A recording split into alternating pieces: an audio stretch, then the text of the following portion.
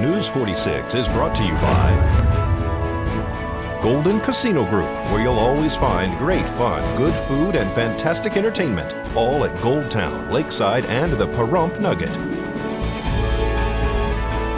News is also brought to you by J.K. Nelson Law. Call 727-9900 today for your free consultation. If you need a lawyer, you need Nelson.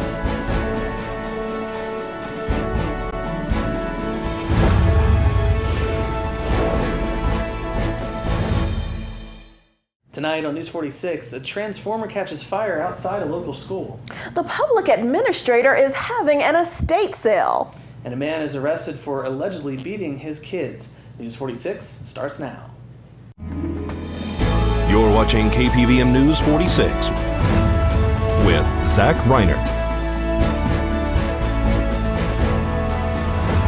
and Eunette Gentry.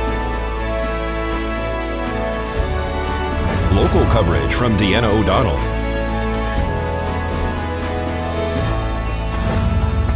News 46. Local coverage you can count on. Good evening. It's Thursday, March 30th, 2017. I'm Zach Reinert. And I'm Eunette Gentry for News 46. Well, students were evacuated for a brief time this morning after a transformer caught fire outside Manse Elementary School. This morning at approximately 8:50 a.m., Nye County Sheriff's deputies Pahrump Valley Fire Rescue were dispatched to Manse Elementary School off of Harris Farm Ranch Road and Lola Lane for an issue with a VEA transformer that had blew. The transformer caused a power outage and a small brush fire outside the school near the roadway. Emergency crews quickly responded and electricity was restored shortly after. Students were temporarily evacuated from the school grounds and power was restored at approximately 9:30 this morning. Everyone was safe at Manse Elementary School and school resumed as normal. This is Deanna O'Donnell for News 46.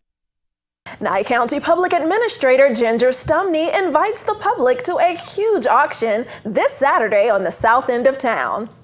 We have an estate auction on Saturday. It is 13 estate auctions, so 13 different estates.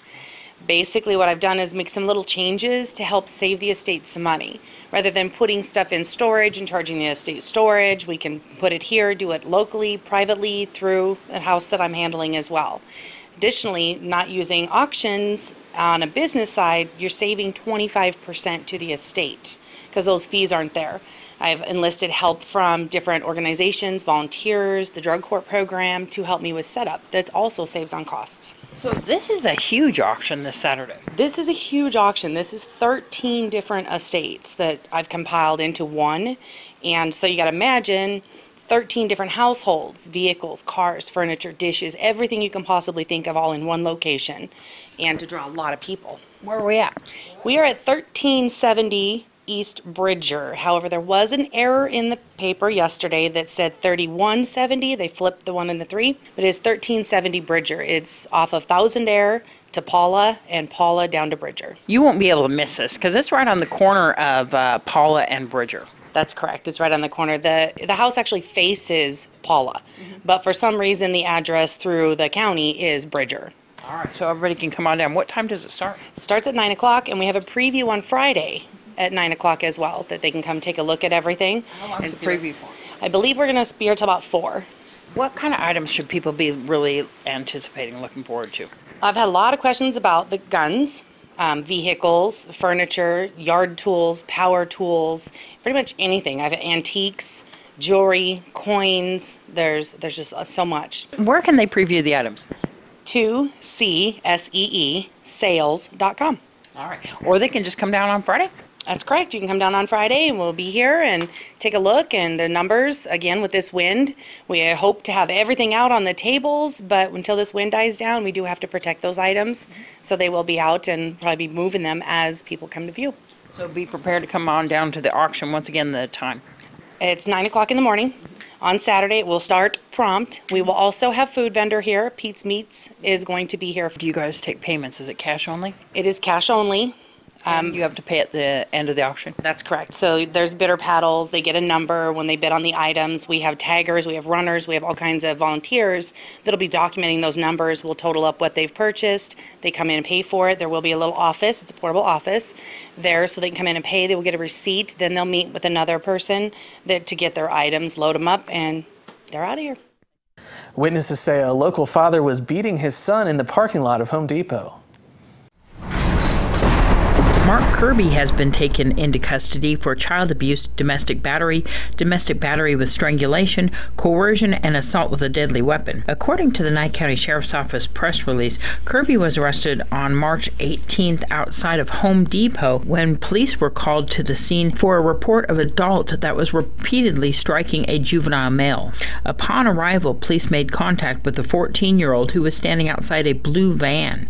He had blood coming out of his nose, mouth, lips, teeth, blood on his forehead, and a slight bump on his head. He stated that his father, Mark Kirby, was angry at him because he did not properly repair a sign that they were working on. He said his father hit him repeatedly in the face with an open hand and then punched him in the face with a closed fist. Witnesses on scene said that they saw the man strike the child several times in the face. The child also told police that as he attempted to exit the vehicle to get away, that his father said while he was hitting him, "If you ever leave, I will hunt you down and kill you." If you do survive, you will remember that moment. The 14 year old said, due to that threat of violence, he did not attempt to escape from his father. While interviewing the child, police asked if there was any previous instances of violence by his father towards him. He stated that about a week before this instance, that Kirby became mad at his sister, who's 16, for not properly spreading the powder on the carpet in their house. The male child stated that his father strangled him